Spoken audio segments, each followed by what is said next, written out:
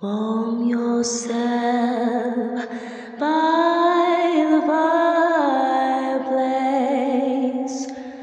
Warm yourself by the fire.